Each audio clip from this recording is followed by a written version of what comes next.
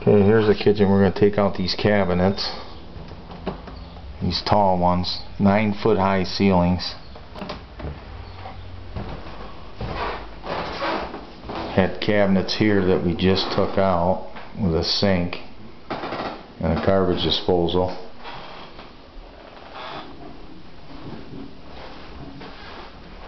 I'm going to take out these. I'm going to put all new setup in here. New countertops, granite countertops, subway ceramic behind it. All new cabinets to the ceiling, some window cabinets up above.